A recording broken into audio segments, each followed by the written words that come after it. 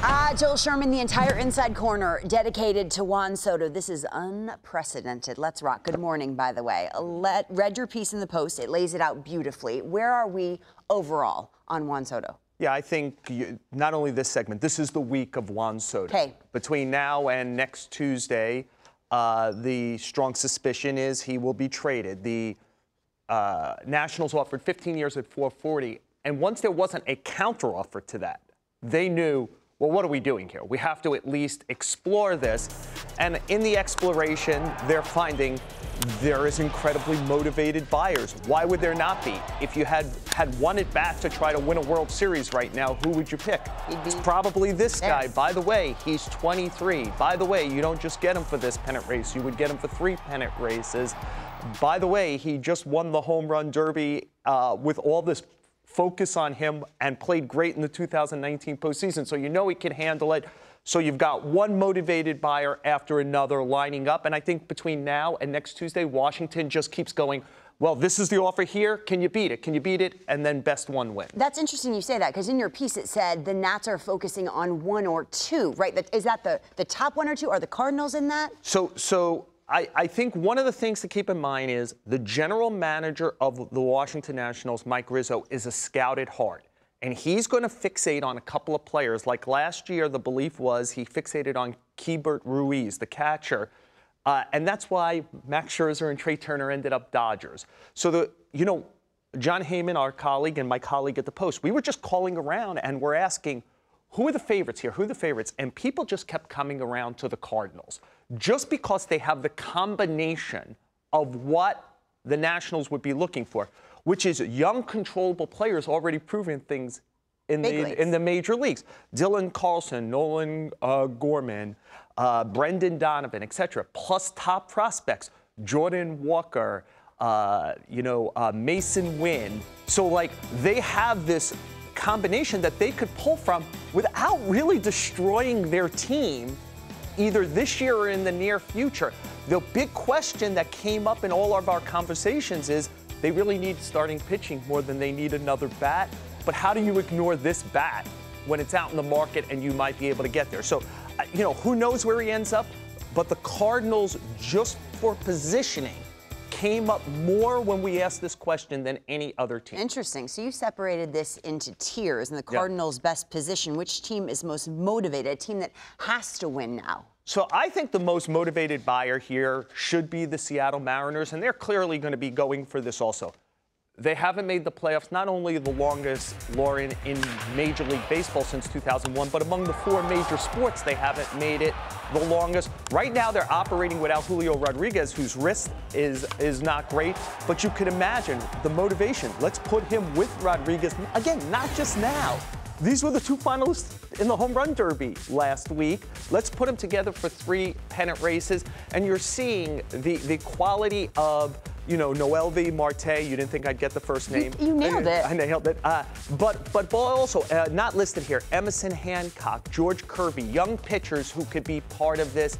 So I think they're the most motivated. Okay, they, pro- they probably, to your point, they probably saw Soto and Julio yeah. Rodriguez in the Derby and kind of let their minds wander what could. Who be. wouldn't? Right, exactly.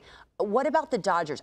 Are there? Do they have more prospects? Than they they I, do. I, I, think about their lineup, I, by the way, with Betts, Freeman, and, and Soto and How Turner. about Turner? Oh my gosh. Well, I think that they're a team that's proved enough is never enough, right? That is right. They at, at, the trade deadline. Think about these recent years. Yu Darvish, Manny Machado, Turner and Scherzer last year. In an offseason, Mookie Betts willing to take on the contract yeah. to David Price to get it done. This is a team that believes in the great player that changes your fate and that that's worth giving up prospects. Now, they've traded a lot in recent years, and they might not want to bleed more, but I think the thing they most want to do is win another championship. And just imagine trying to get through that lineup. That top four in the lineup over and over in any game. I think it's a hard player for them to ignore, and I think they'll certainly be at the doorstep trying to get this mm, done. They don't take a chance. They never think they're good enough, always tinkering. Speaking of tinkering, I always think I've learned a few things covering the sport for a while. AJ Preller's never done. Padres in there? Yeah, you know, I describe them as the aggressor. Like when with AJ Preller as their general manager, there will not be a special player who goes on the market that he's not going to try to figure out a way to go get. And with everything they've done in the last three or four years, they do still have top prospects to go and do this. CJ Abrams, Robert Hassell, their, their young outfielder, you see there listed one. At the Futures game, his name came up as just as much as anyone else's as a kind of special Which prospect. one? Hassell. Okay. The outfielder. And I've heard it from, from scouts who've gone their system also, who've been watching him this year, that he's the kind of player you could put at the front of a trade and get anyone. And look, the, the, they probably can't catch the Dodgers in the in the West this year, but they're in position to make the playoffs. Soto is the kind of bat that changes things in the playoffs. And I just want to repeat this over and over. You get him for three postseasons, not just one. The question is, it probably, unless they could offload Wil Myers or Eric Hosmer someplace, it puts them over the luxury tax. Does ownership okay that?